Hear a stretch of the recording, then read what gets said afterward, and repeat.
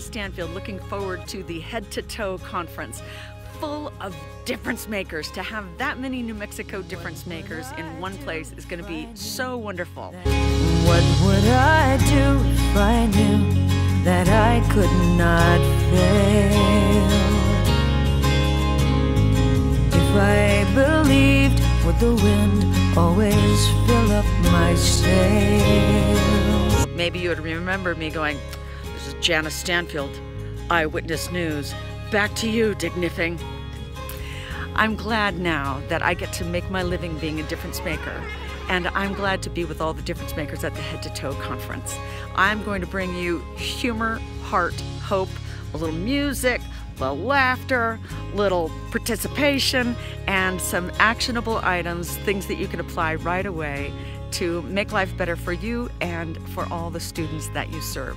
Thank you for being a difference maker. It's not enough for us to be good at what we do. We want what we do to do some good.